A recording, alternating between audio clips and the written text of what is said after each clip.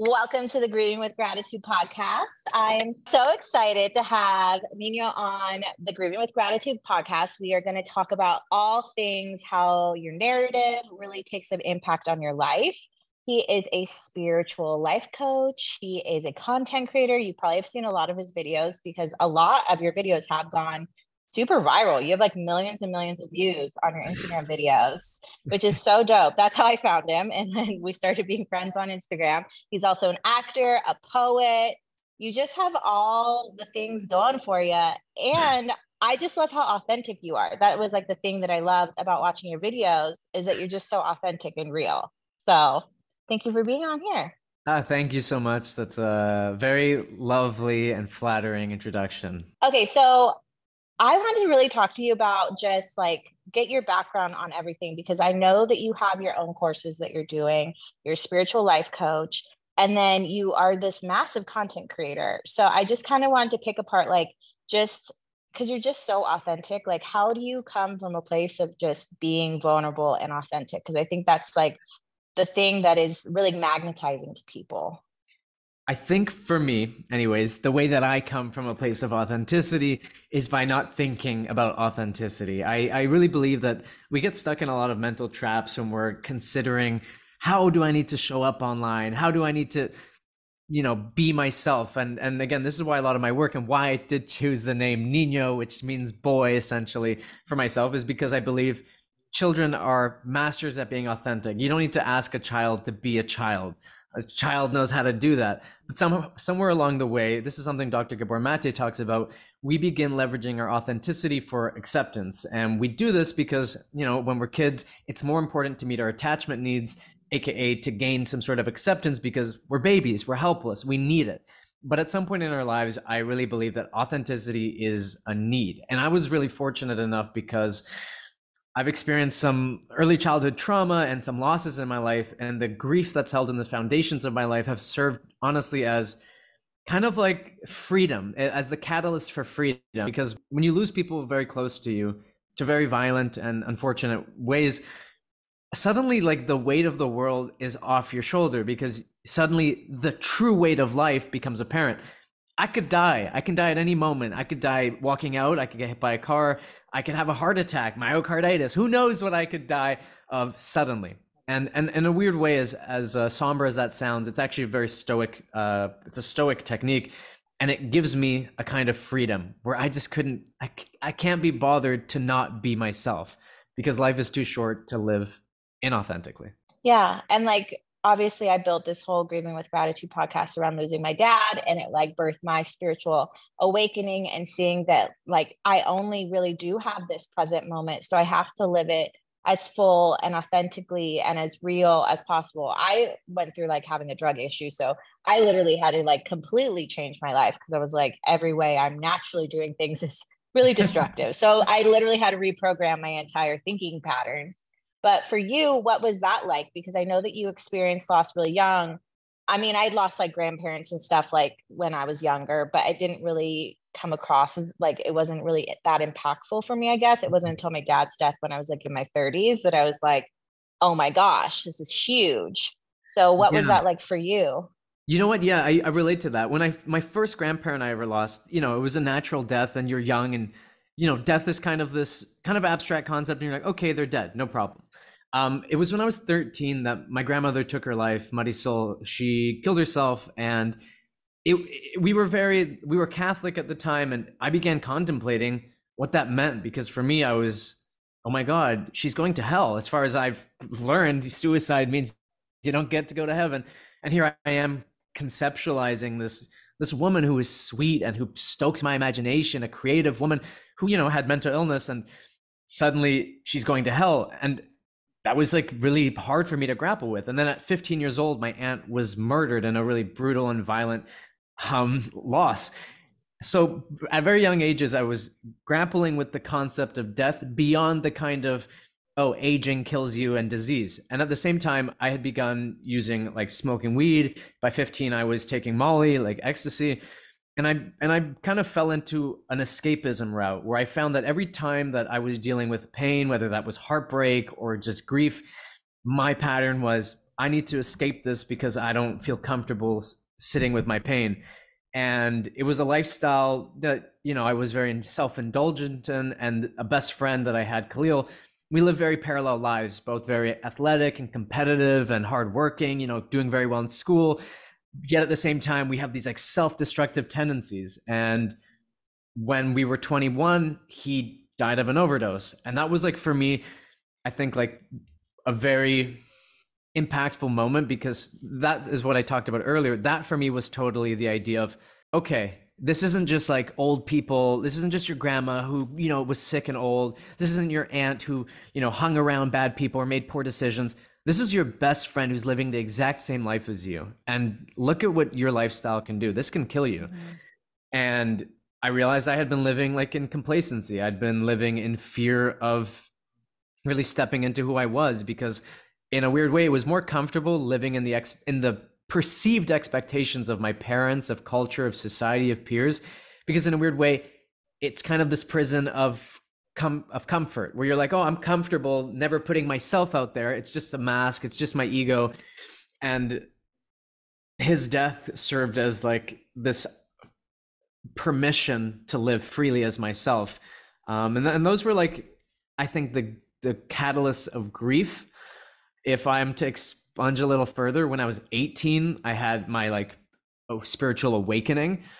Um, but the thing is, and this is something I'd like to always share is just because you've had a spiritual awakening doesn't mean you have it figured out. And I, had to like grapple with that because you know here I am at 18 and like wow I finally realized the material world isn't the only thing out there. There is some nature beyond the material realm, and and I'm engaging with philosophy and and I'm studying psychology and I'm practicing meditating, but th- that wasn't enough for me. Like you, I was still engaged in unhe- unhealthy habits. I was smoking weed constantly. I was drinking excessively. I was taking Molly, and it was like I was convincing myself that, oh, well, it's yin yang, baby. This is what balance is. You know, I meditate in the morning and then I get fucked up at night.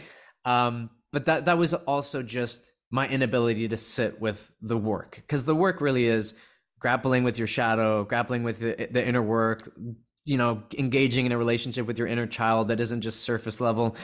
And that was all stuff that really took me probably until I was like in my early 20s to really start doing and cultivating and not unlike you, I see grief in my own life as one of the f- most fucked up gifts I've ever gotten because it has served as the most transformative events in my life. Uh, and yeah, I'm really proudly like I don't drink, I don't use those kind of drugs. I'm I'm not sober, I guess, because I technically do smoke weed and I, I enjoy psychedelics, but it's for me, it's as sober as I've ever been. So hey, there's no judgment at all. At, in that's like why I created higher conversations was like for the soberish community or people that are sober curious because I feel like there's such like a stark line and like some things will serve you for a purpose in life like or a series or like a moment or a quarter and then you'll be like this doesn't serve me anymore and it's okay to like have those moments of being able to ruminate between it you know for me like getting sober was like the biggest thing. I mean, I still smoked weed when my dad died because there was like no way. I was so anxious. Like I was so anxious the entire time because he's my only parent. So like I literally went from like, you know, a family of two to like just me. And I was like, oh my God, this is and he enabled me. Like I was like, did you not grow up with your mother? Mm-mm, not mm. really. She like never really you know, she just was not a lady that really wanted to have kids, you know, and I always had that feeling. So I think that I know that she now as an adult looking back, I can go, she has mental illness. Mm. And so, and that, and I give her grace for that. But at the same time, you're still the child who had to endure the back end of that mental illness, unfortunately, right? Well, yeah. I mean, you're living through it. But I was going to say, for smoking weed and all that stuff, like when you stopped doing drugs because after your friend died, do you think that did you feel like because this is for me, this is what I'm gonna just say for my story. I knew that like over my dad's body, like in the hospital, I was like, oh my God, I gotta get my shit together. Like I was super heavy into drugs and alcohol, like mm-hmm. cocaine mm-hmm. and alcohol were like my best friend. Um, and I was like, I have to completely change my life because I was like, I can't do this anymore. And I knew because I went through rehab that anything I was feeling in that moment, if I numbed it out by doing something else, that feeling was going to hit me whenever I stopped and, and felt again. So mm for you, you made a stop too. So like what was it like for you? Did you get that because mm. you had to feel your stuff then. You know what? Uh, I've had a very non-linear journey, let's say, with drugs, sobriety, and personal growth. When my friend died, I didn't immediately stop using drugs because I was just in shock. Like I, I was in absolute shock. I I went. I remember going to his funeral. I I literally couldn't speak. I was just heaving in tears. And that year, I I got fucked up for the first few months, just like benders on benders. And when I started to slow down, I was finding healthier, let's say, general patterns in life. But honestly, I still lived a very like uh hit and miss lifestyle, let's say. I would go like all the fall and spring and I would be sober-ish, you know, barely have a mm-hmm. drink, maybe smoke weed here and there. The summer would roll around and then a festival and you know, a big party and then then I would get blasted, take MDMA, whatever it was. And again, I was very able to rationalize this because I'd go, well, look at my life. Look at me. I'm so fit. I'm so, I meditate all the time. I do all these things that are, yes, good. But it was really to rationalize the fact that on some level, I was suppressing feelings of trauma while I was in university or just doing my work, just working, working, working. And then when summer rolls around where, you know, it slows down, well, now I can repress it, not with work, but with partying. It was only really this last summer, not this summer, but last year, where my cousin unfortunately uh, he shot himself in the head and he he was like my older brother yeah and that was heartbreaking. It was absolutely devastating and that's when i really took a look at my life and i and was like all right man. He was a hardworking guy. He didn't do like drugs or anything in any excess not unlike you but we, we found out the last few weeks of his life he definitely was doing some drugs you know coke or whatever. And I just had to I sat with myself one day and I came home drunk and honestly I had the darkest moment of my life where I finally understood what it would be like to want to kill yourself because I really wanted to. In that pain, sitting with the grief of my cousin, reflecting on my fuck ups and I and actually it was the most enlightening moment for me because suddenly I felt total compassion and relatability to my to my grandma, to my best friend, to my cousin and then I I just knew, oh, that's what it is. We have an inability to sit with our pain. And if I continue to repress this, one day it will come back when I'm drunk in a stupor and I will actually take my own life. And I'm not willing to do that because I don't want to hurt my family. I don't want to hurt my friends. and I don't want to hurt myself. And it was literally like the next week where I, I moved to Vancouver briefly with my family. I opened up about the struggle I was going to. I told them I wanted to be sober. Like I kind of just wanted to hold myself accountable. And I've been and that's when I stopped. So I really only just stopped like committedly like I'm not drinking, I'm not using those drugs even recreationally what you know, no mas as of like January, well, I mean officially, I'd say like January of 2023. And it's been really interesting to step into because in a lot of ways you asked about what it was like when the pain finally hit. It was it was so sad. It was so sad to see this kid. I just saw this narrative, this story within my own life of like, wow, he you have consistently pinned yourself as somebody who was alone, who had to go through this pain alone. And and you know, there's some truth to that. Like, you know, when when my grandma took her life, my family didn't talk about it. We, but then again, they didn't know how to. It wasn't like there was some malicious force in my family. It was just my dad just lost his mom. He didn't know what to say to us. We were kids. You know, when my aunt was murdered, that was my mom's sister. She was in shock. She didn't know how to talk about it. And me being, yes, a highly sensitive kid, I've always been this highly sensitive kid. I took it personal. I took it as I don't have anyone to talk to. Nobody understands my pain and no and i also i indulged in the idea of nobody will ever understand my pain so why not just ignore it why not just d- drink it away why not just you know not be with it and you know of course the always the irony in this lesson is it was sitting with it fully showing up and owning the fact that i have an ad- addiction or had a problem or have a problem that has created a lot more strength and resilience that has allowed the problem to not be a problem. I'll be honest, I've partied with people sober and they've done lines in front of me and it doesn't even faze me at all. And again, that's only because I finally took the time to sit with the thing that was leading to the addiction. and for me it was really just shame and condemning like myself as a child for not being strong enough or for not you know not being tough. And now i'm really owning the fact that it, if anything the fact that i'm sensitive is my superpower. That's like the thing that makes me the best artist the best coach the best human that i could ever hope to be and yeah that's kind of my my shtick. I love it. I mean, honestly, like going back, like this is something I had to realize with like my mom and my family as well, because when people would die, they just disappeared. And I was like, you can't, these people like mattered. You can't, I'm like, and I'm hurting. But now, like, you know, a couple of years in, like realizing people only operate from their highest level of consciousness and mm what their awareness is.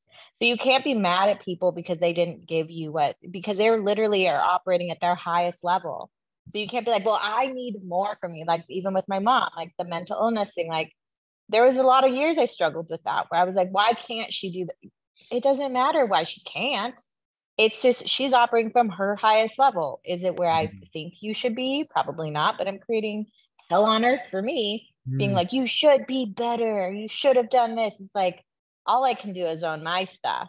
And what we both have experienced is like in those sudden like losses is a, it's a ton of trauma and we create these you know narratives in our lives mm. that we then see outpictured everywhere like i'm always alone or no one understands me. Well and then you're like why am i surrounded by all these people that have don't understand me? It's like uh. well you're literally just that's how your lens is. So that's all you're gonna see.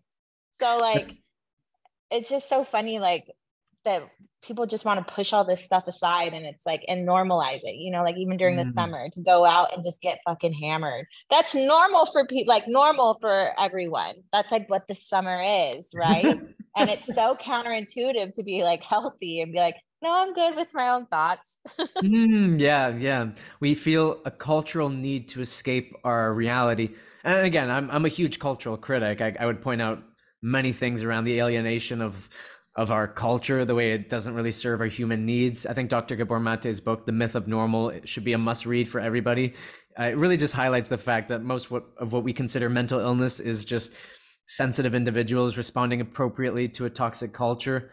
Um, and but there's something you said, and I really would love to talk about is like narratives and the power that those hold. Because honestly, where I am now in a place of genuine fucking love and like I feel I love my life. I feel like divinely guided. Even if things aren't perfect, I, I have this surrender to my discipline, to God, whatever it might be. And I realize in hindsight, a lot of the greatest moments of my suffering weren't even necessarily the actual objective events that occurred. And I'm not taking away from the pain. The pain sucked. You fucking experience grief, it's tough. But the true pain was the story, man. It really was the narrative. It's it's the self-indulgent yes, almost vain, self, you know, flat like it's it's vanity in a weird way. It's like indulging, and, and Eckhart Tolle calls it the emotional body. You're feeding this part of you that becomes empowered in the pain. And I remember it. I remember being a teenager and walking around. Ugh, I'm better than everybody because they've never experienced trauma like I have, and and they would mm-hmm. never be able to handle it like I've handled it. Or when I'm 21, ugh, these people think that these people posting about my friend dying, they weren't even his real friend. I'm his best friend and I'm dealing with that. Uh, or just, and those are the stories that truly cause pain. Because, like you said, you tell yourself, oh, nobody understands you. You will subconsciously end up in situations and around people who could never understand you. And it's just to reinforce, and in a weird way, it's it's a form of control, right? We're seeking control in the chaos of our lives, and whether that's us seeking out self sabotage because in self sabotaging our relationships, there's a predictive chaos to it. Yet at the same time, it reinforces the narrative of, see, everything ends for me because I'm not good enough. I'm a fuck up and my life is a miserable chaos. It's like, yeah, because you're choosing self destructive patterns and tendencies and behaviors and substances because they reinforce that story, which gives you a greater sense of control, reinforcing your ego, your sense of self, because you aren't really willing to change because you don't actually want an out. Again, which is, and this is why when it comes to narratives and the powers they hold, I think rock bottoms are fucking amazing. I love when I see people, and this is a little bit twisted, when I see people about to hit the rock bottom, I'm like, oh, keep going, man.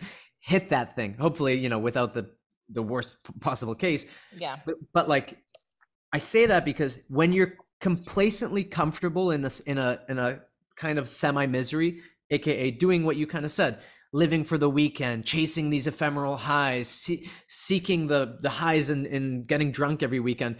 That comfort in a way, especially because it's culturally conditioned, that doesn't motivate change. But a deep dark moment where you really like look at your sense of self or the ego, what you've created, and you go, I don't like this person. Now that is a moment that could breed the possibility of true change. In that moment, transformation is possible because you actually look at that ego and go, no, maybe this isn't me, like, or maybe this doesn't mm-hmm. have to be me. And, and that I think is kind of like a perhaps one of the many potential antidotes to the narratives of pain is actually getting sick of it, you know, hitting a rock bottom. And it mm-hmm. can be mm-hmm. extremely beneficial. Oh, 100% because like every time you relive that story, you re-energize it. Like look at gossip. You know, you just re-energize the same shit over and over and over again. You could be having a great happy day and then you start talking about, you know, like you just re-energize the story in your own life. Like mm-hmm. re-energizing someone ghosting you or something if that you have an abandonment thing that's going on you know, instead of just being like, well, whatever, they could be busy and just keep going on with your day. The more you regurgitate it, you know, it validates your ego to be like, yeah, like that is what's happening. But it's mm-hmm. ultimately we're able to create whatever we want. And I do agree with like the whole rock bottom thing. And I mean, it is like breakdowns are literally the biggest opportunity for breakthroughs. So, like, to not stand in people's way of it, you know, I feel like a lot of people want to control things. I'm like, that is a part of their journey. Like that's what they need to learn. And like, I wish that sometimes like that maybe people, I mean, it's all part of the journey no matter what, but like hadn't stood in my the way of my rock bottom so much, you know, because maybe I would have gotten here a little quicker. but it's okay. I got here when I did, you know, but I mean, I really, the narrative definitely is so powerful. It makes such a big change in someone's life. So it was like the narrative, you had your like sports, like I'm good, like I, you know, party sometimes, but like most of the time, like I meditate every day. So like it evened out. What it, would you say your narrative now in your life is? Oh man, my to be honest, there's there's two things. There's a spiritual ideal that is don't live with a narrative. Live so totally engaged with the present moment that your mind doesn't have to create a narrative. And in tuning my attention and my intentional actions to the present moment, I can show up as authentically me as I can. And that's what I try to do in my present moment. Whenever I'm engaged with people, when I'm doing a task, I try not to think about a narrative and let go of it. And in a weird way, that's great. Now, of course, at the end of the day, I'm still a human. My my human tendency through evolution, evolutionary mm. processes is to create stories. And the story that I try to tell and the one that I kind of retell my clients and, and like because I, I do share parts of my life to kind of hopefully as to draw inspiration from is one of an alchemist that I am a trend that I have the capacity to transmute pain. And that has been my role here. Now, of course, I have to be mindful because if I indulge in that story too much, I might subconsciously start seeking out things that cause me pain just as an opportunity to transmute them. But I'm mindful about it. And at the same time, the truth is, I still have pain in my life. I still, that loss of my cousin, like his suicide, was just last summer. I can't pretend that that doesn't hold pain. My best friend, as much as I have sat with that for years, I still I still cry about that. You know, he still sits in the room with me in my meditation, and I and I talk to him, and and as such, because pain is a part of my life, the story that I tell is of somebody who's trying to transmute pain into love and to and to bare my naked soul to people. And hopefully, by bearing myself nakedly, fully, as imperfect as I am, with a sense of humility, reverence, and comedy and humor, because I love that. I love making fun of myself as I love making fun of others, and I love making fun because that's part of the fun is not indulging in my attachment to this impermanent life. Um, yeah, and I and I try to do all this just to serve honestly as a mirror and also to feed myself because I enjoy it and you know hopefully in my own presentation people might see something that they can draw from and at the same time i indulge my own my own self you know because i i have passions i have passions for artistic expression for helping people to being of service so kind of finding a way to identify the narrative that best serves my passions, my purpose, and my and my values. And for me, that's one of transmuting pain into love. Do you feel like when people first start on their spiritual journey, because I feel like, you know, like there's so many things you have to like almost like not redo, but you're like reprogramming yourself, yeah, right? Like to think differently and live differently do you feel like at the beginning of everyone's journey that the narrative like you almost have to be conscious of what your narrative is mm. and like what you're creating does that make sense almost like when you're doing affirmations like you're mm. affirming what you want to create and where you want to go right because we're creating at all points in time so that's I, yeah you get what kind of what i'm saying oh. In the beginning there's so much conditioning that we still have to let go of that yes you the most of the work is it's psychological to be honest. It's like yeah you have to reprogram the subconscious substructure of your mind so you have to become intentional about the language that you use because language is the baseline sub software of the mind. So like you said aff- affirmations mantras simply becoming aware of the fact that you have thoughts thoughts aren't you you know uh, it's like you're still navigating things that are brand new um and and yeah that should be like the focus and again I'm trying to be more careful and not projecting what I think should or shouldn't. I can speak from my own experience. When I first had my spiritual awakening, I was very, I've always been quite, quite intellectually minded. And that was both a good thing and a bad thing because it meant that the moment I had a spiritual sense of myself, I indulged in a lot of intellectual books and readings. And then I, I just described myself a new sense of identity. I didn't simply let go of ego, I just created a new ego. I'm better than everybody because I'm aware of the fact that I have an ego. But in doing that, I was being I was I'd become a victim to my own spiritual ego, which is a bitch because it convinces you that you don't have an ego, and that's the most pernicious kind of ego. Um, and, and, that's you know, why I, I, love when people are like, "I have no ego." I'm like, God, they're the people with the biggest fucking egos. And it really is. I, I always I don't know if people will be able to see this or if it's just an audio, but I always say this is what happens. You have a a mind, a psyche. A spiritual awakening creates like a crack or a hole. And then things start coming out and new ideas start rushing in. But your psyche doesn't know how to handle it, especially your ego. And instead of what could happen ideally, which is the ego surrenders control, it exits, and then spirit manifests totally and you become enlightened. Rarely happens to anyone in the first round. What happens is your ego goes, I need to be able to contain all of this. So the ego inflates so it, it can now contain everything all right you want to okay spirit all this sure sure I'll, I'll get big enough to contain it all so now i'm a spiritual being and i'm and i'm and i have no ego whatever it is that the new ideas you've introduced into your psyche your ego will just expand to a point where it can contain them as opposed to what the work really is which is challenging your ego consistently engaging in daily practices that remind you that you're not just your thoughts and emotions and having the humility to know that you don't really get rid of your ego. At best you become so aware of it and you become so healed that it that it's kind of like a, a familiar friend that you don't pay too much attention to you don't take too seriously but you know you make sure that you're always kind of keep your eye on them because you don't want them to you know ruin your life yeah like i always think of my ego as like I mean, your ego literally wants to protect you. It wants to keep you safe. That's all it's doing. So sometimes when it keeps you safe, like like a helicopter parent, it means it keeps you small, right? Yeah. It's almost the same thing. Like your ego just like wants to protect you at all costs with its limited knowledge, right? So if it feels unsure, it'll try to keep you safe, keep you small.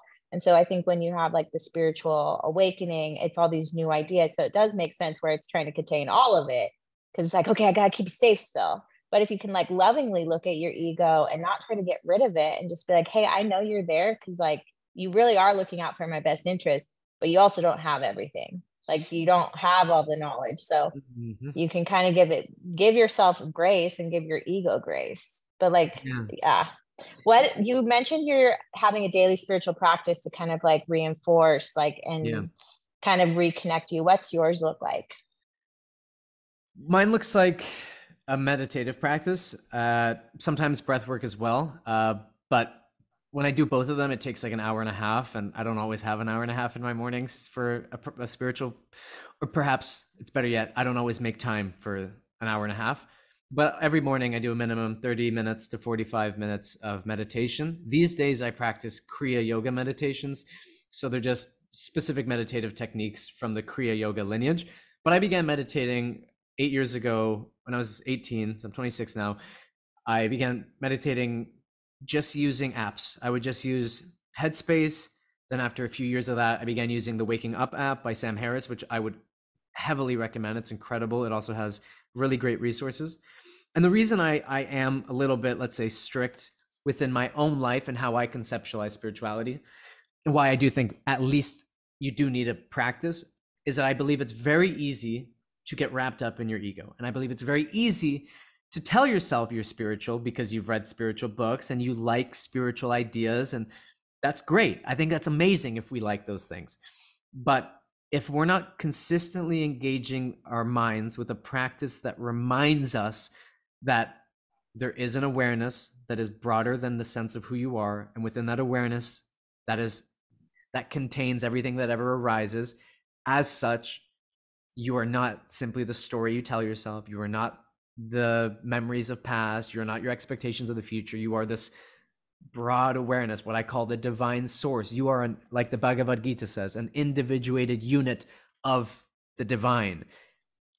If you don't have a practice that consistently reminds you of this, I believe it's very easy to fall off the the path. And for me, anyways, it's essential that I meditate every single day. And when I don't, because of whatever reason, it is extremely clear that I'm more emotionally reactive, I'm more easily irritable, I'm more easily pulled into unconscious behavior patterns, I'm more easily offended. Everything that's negative is exacerbated and everything that's positive is diminished. And I just recognize that now. So for me, meditation is like a it's not something I debate. I have to do it. It's your non-negotiable. Non-negotiable.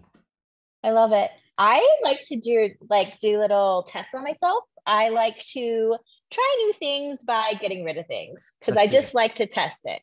So I always have had like a very strong spiritual practice, but the last couple months I was like, I'm just going to see what happens if I don't. If I stop reading these books or I stop doing stuff because I just felt like at some point I was almost on like overload and I was just like I'm just irritated by everyone. So I was like I'm going to stop doing all of this and I let my little angry self come right out and like anything I wanted to say, I just said it. And I was like, wow, this does not serve me. How was that? But I wanted to see, honestly, like it was because I felt like in the spiritual community, there are not that many funny people. Your face. There's not. A there's lot of people. like there's like zero. Like no one thinks anything is fucking funny. Like no one laughs. I feel like so I was like, you know, I'm kind of over this. So I dropped my daily spiritual practice mm. and I let myself be, I guess, how I would a normal person would be. so if someone irritated me, I would I would say I would I was waking up with violence. I woke up today in violence. And so I literally unleashed whatever I wanted on people. And I thought, okay, I want to see what this is like. Mm. And I was like, this doesn't serve me because I was literally perpetuating that story in my head. And so anyone that's listening to this, this is like definitely if you're grieving currently, like that's how you feel is very mm-hmm. reactive. So I was just literally letting myself react to everything because when you meditate, you become less reactive because you become proactive. So if you're proactive, you're not reacting to things. You already, you know, anticipate that you're going to you're fine and you're safe and you're at peace and it's everything's good. So I let myself just be super reactive. And I will have to say, the daily spiritual practice came back. let's let's I want to talk about that. I think there's some nuance here. You said something important, which is that if you become indulgent in seeking spiritual matters as a form of escaping your reality, like indulging in books consistently, uh, meditating because like you can't deal with the world or whatever, or even like becoming a recluse um like almost something... becoming like addicted to this stuff does that make sense it's absolutely. like you just transferred your addiction to something else absolutely and and this is what chris sartain who was my breathwork instructor uh, who taught me and he's also in the kriya yoga lineage he talks about the fact in one of his books that a lot of people especially in the new world who come to spiritual matters really they seek out all the renunciate practices, yet they're not actual re- renunciates. So in typical like yoga fashion, if you were a renunciate, well, you would renounce everything. You'd go in a mountain and and sure, maybe that's the path for some, but there's like certain practices and ways of living, like you know, always reading spiritual texts, meditating for hours, doing like going away from society. But now nowadays, a lot of people seek out spiritual practices for renunciate purposes, but they live in a city. You know, they're escaping their reality through spiritual, you know, like through spiritual addiction, and it's no different. And I think that often you talked about humor. Often people become forget the fact that you still have an individuated aspect of the divine within you. A lot of people believe that uh, uh, connecting with the divine means to relinquish all sense of your unique individual individuality. Of course I understand that's a common reaction against the hyper individualism of the West in in favor of the collectivism from those Eastern cultures in which a lot of these practices originated. But it's a it's a mistake, it's a misstep because like the Bhagavad Gita says, you're not just part of the divine, you are uniquely a part of the divine. And within the Bhagavad Gita, it says the highest calling would be to for us to actualize our unique characteristics as an aspect of the divine. So for me, for instance, I love entertainment. I've loved movies since I was a kid. I've loved storytelling since I was a little kid. I've loved trying to be funny since I was a kid. Mm-hmm. These aren't like things that I was conditioned to. I was like this. I've always been extremely passionate and energetic. As such, the moment that I sensed in myself that spirituality was becoming like, oh, I can't make fun of things anymore. I always have to. I was like, that's repression, dude. You're repressing yourself because actually what's happening is a sense of control is arising. You want to control how you're perceived because it's great that you're doing these practices, but I had to recognize you want people now to perceive you only in your spiritual light because it's, let's say, more easily acceptable. But no, man, you have a sense of humor. You you have a kind of a twisted sense of humor. You like making fun of things. You like pointing things out. You like saying the uncomfortable and that doesn't make you any less spiritual. If anything, denying these aspects of ourselves you know blunt you know making our denying our personality is not spiritual. It's repression it's spiritual bypassing and that is the very process that leads to what you mentioned earlier the kind of inflated egos that are so pernicious that convince themselves they're no longer present and those people are just self have their heads up their own ass. Yeah because i was like dude and it's okay like i our personality is what makes us authentic. Our personality in our humor is what makes you you and how you interpret and see the world that makes you you. Yes, we can create our own realities and you know create whatever we want into existence in our life and like what do we want our lives to look like, but like that doesn't take away or negate who you are. That's why like mm. there's so many life coaches and like that people like your flavor and if you had no flavor then you know no one would come to you right? And it's like even chocolate and vanilla most two popular ice cream flavors ever. A lot of people don't like chocolate or vanilla. So it's like okay to be you but it's like it is funny within the spiritual community. There's so much it's easy to make fun of and people get so serious about it. And it's okay. It's okay to be like that's weird or like that i don't i don't vibe with that. Maybe in 10 years you will. And that's a part of your path and your journey and you're on it and it's fine but you don't have to drink all the kool-aid at once if you yeah. don't want. If you don't want to put a crystal in your yoni you don't have to. Yeah if you don't want to go microdose with a bunch of people that don't know anything about anything you don't have to do that you don't have to. And yeah there's this yeah and again and this is why I think Krishnamurti is such a great spiritual philosopher because he's he's very much he's he says deny everything, deny your religion, deny your culture, deny your your spirituality, deny anything that suggests that wants to define itself in a way because every time something is defined it becomes well a creation of humans and it becomes a conditioning and it becomes influenced by whoever the hell created it and there's such wisdom in that of course look systems can help programs can help religions and books can help but the wisdom that he's pointing out is that ultimately they all come from people and people are beautifully imperfect. And mm-hmm.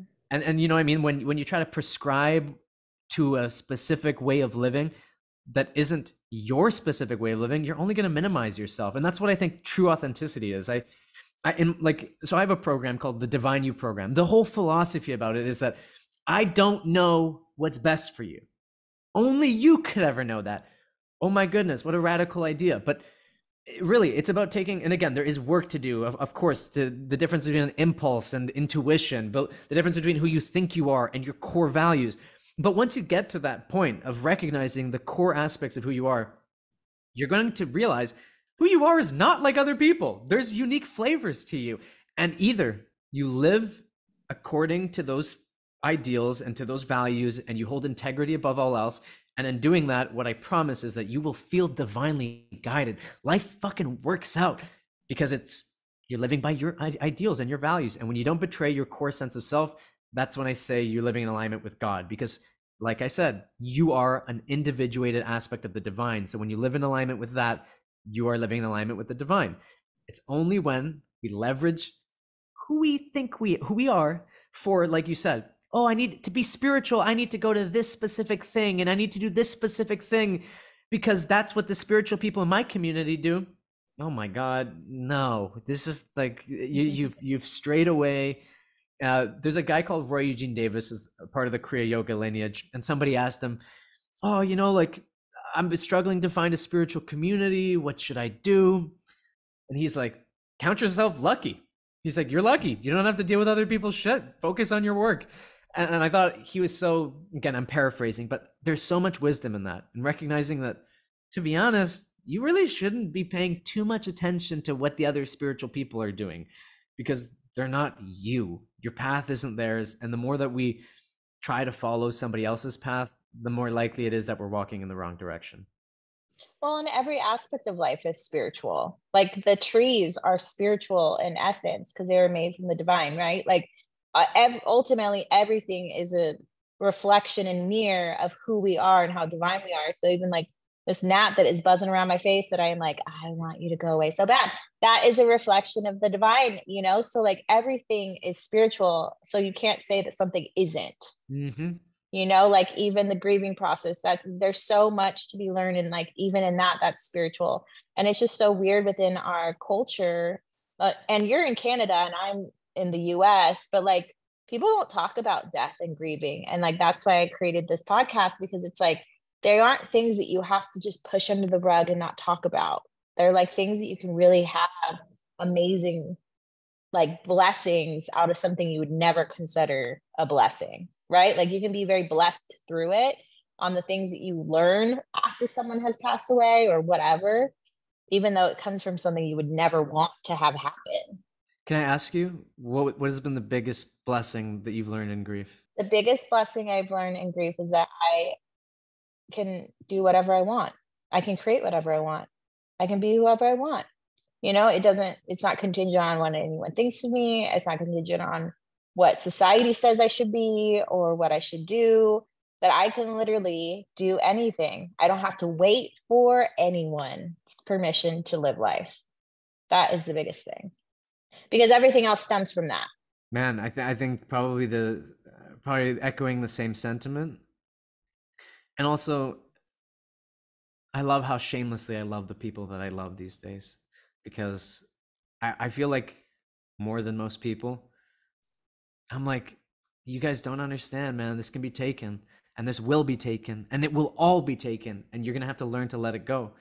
And I, and in a weird way, of the consistent, unfortunately tragic deaths in my life have allowed me to learn how to love unconditionally. Like when I, when I start seeing someone even like let's say I was seeing this uh, woman briefly, right? And we only dated for a month and a half.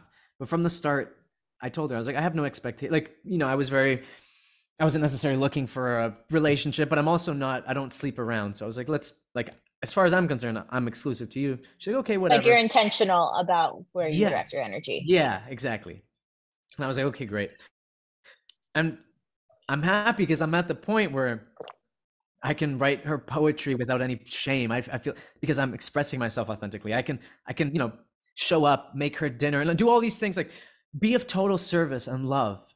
And not feel any shame around it or like embarrassment and even though ultimately and and I was doing it all with and this is what I wanted to say is unconditionally like it's almost like all the loss has allowed me to move into a state where I can give my love without expecting anything back because at the end of the day um, in my brain that perhaps the trauma in there is well they could all die.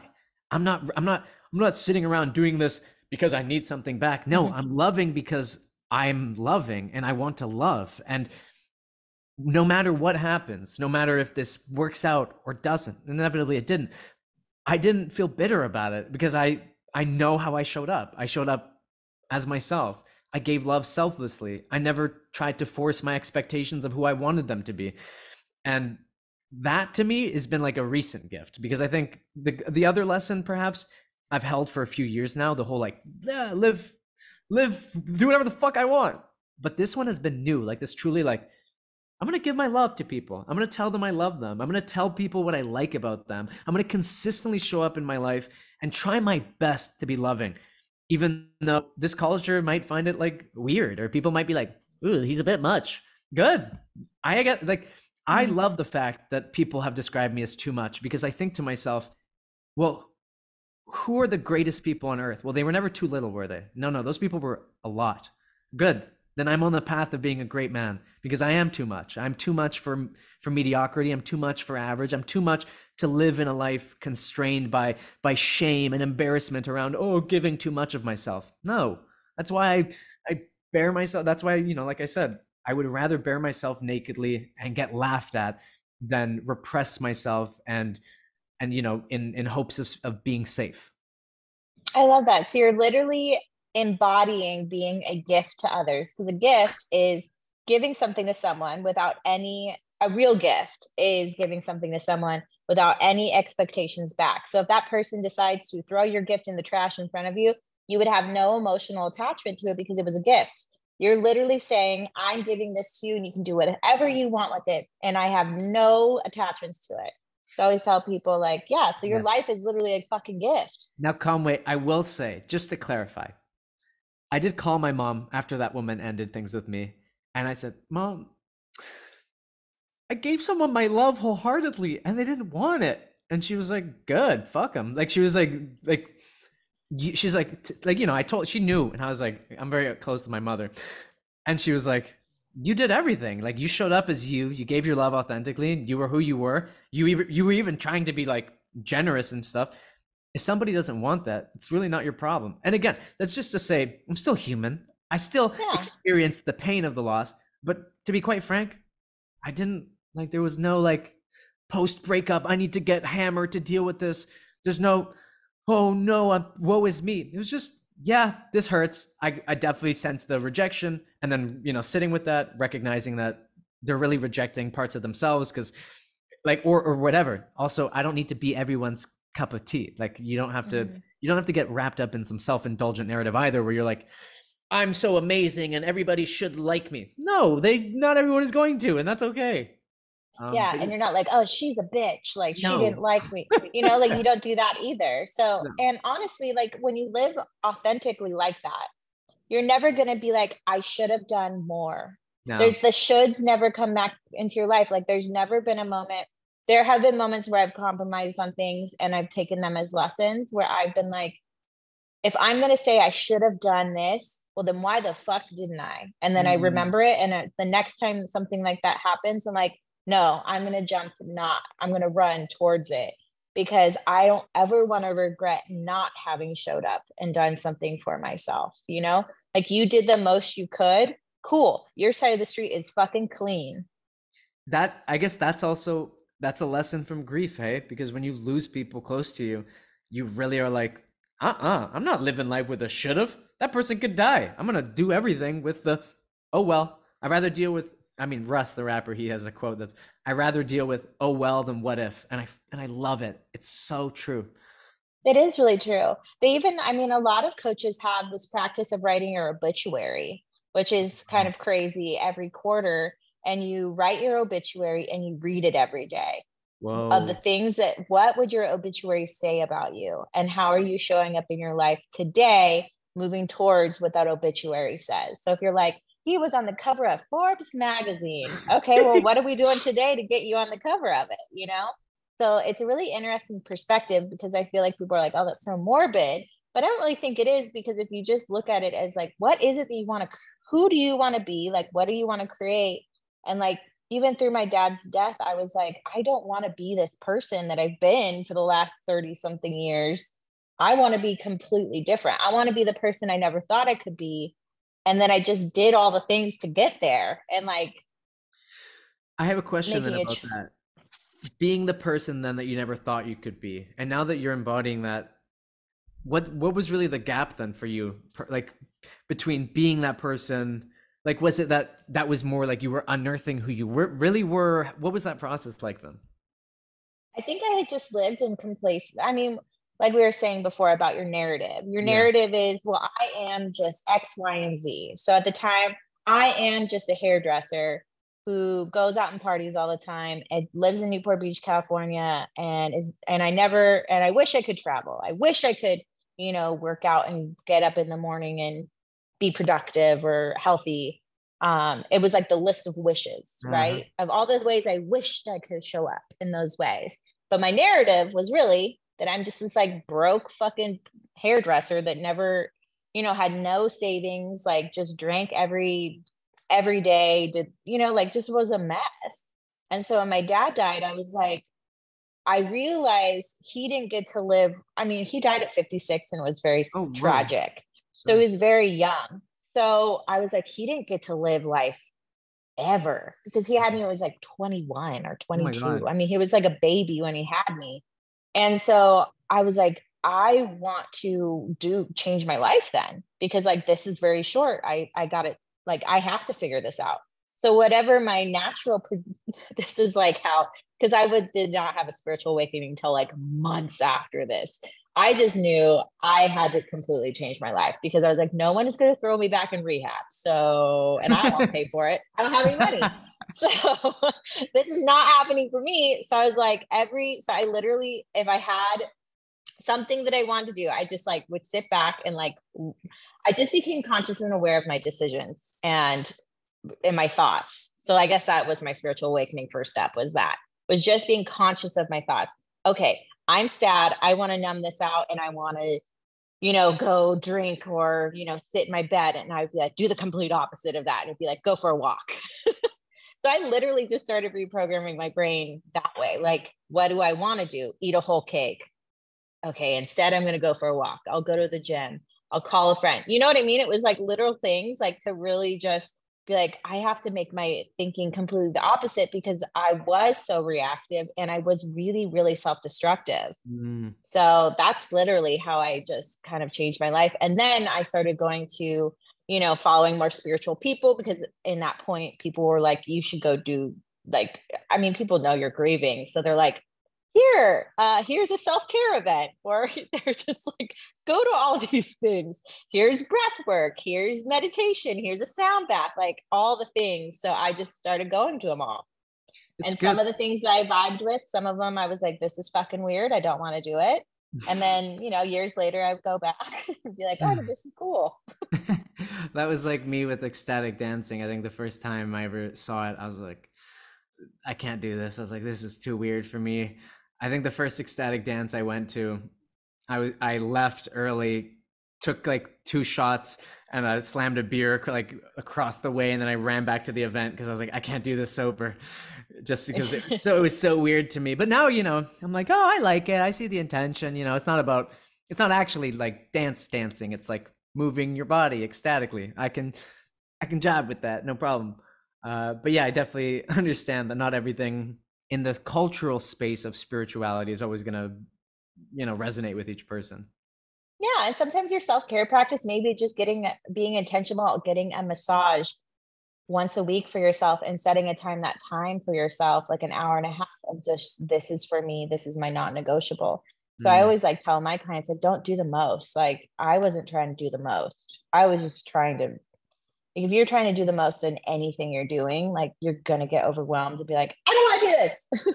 like, mm. so just do yeah. one small change. Yeah, that's a huge thing. Make it like make it sustainable. yeah. Make your life sustainable. I know it's your podcast, but you mentioned the obituary thing, and I guess I'm curious to know whether like if you had to like make it real brief, what would you want your obituary to say? So over the years, it's definitely changed because I think through, you know, you go through so many different spiritual teachers or listen to so many podcasts and you kind of like almost like a sea urchin. You like, you know how sea urchins are sticky. So they start off purple and then they're covered in fucking different shells and chunks of things.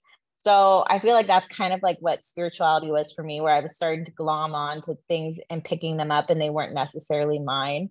So at one point I was like, I want to be on the cover of Forbes magazine. Why? Like, or I want to have my own reality TV show. Why? Like it was like all these like weird things where I was like, that those are all like very ego driven items. And now looking at really what it is, I my social media number is not anything that would ever be on my fucking obituary. So if it's take it it's things like that where it's like, why is this taking up valuable real estate in my own mind? So I was mm-hmm. like, that's not valuable. What I want is like that I was able to travel the world and I was able to speak at all these events and was able to help people just by sharing my story and being able to be vulnerable. That is like my obituary. Like I got to see the world, like awesome. And I got to make great money doing it and help people.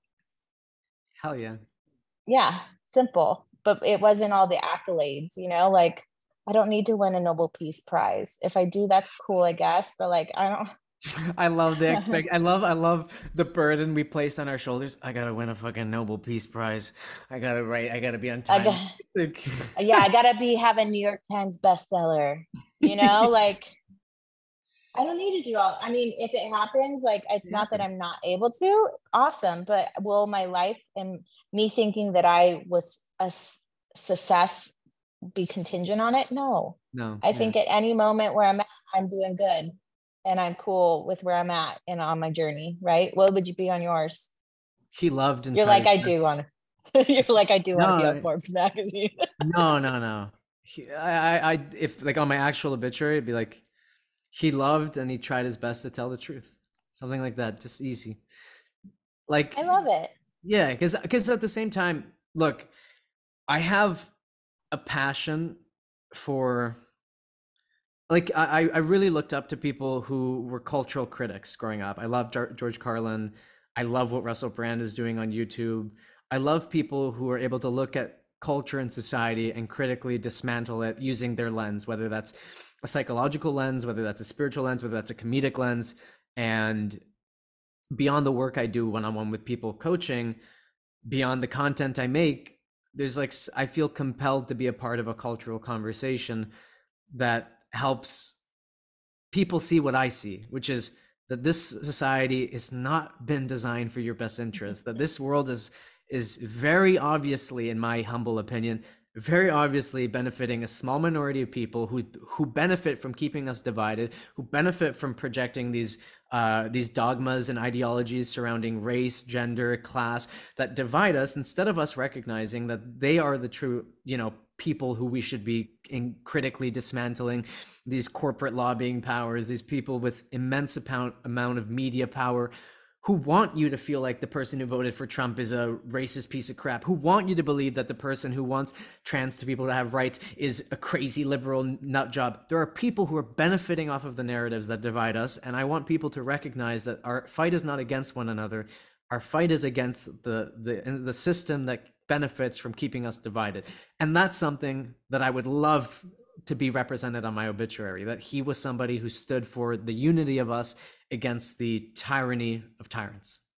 Yeah. And I honestly even think like even saying it's so it's fucked up because it's like even saying like unity, you get in a vision of like what that person looks like, you know, and they're like got puka shells on or something. I don't know, you know, and you're uh, it's I like, mean, but I believe it all. Like yeah. it is like we're all we are all literally a reflection of the divine. Every single one of us even the people that are manipulating their power to you know create division mm. it, they still have our divine too.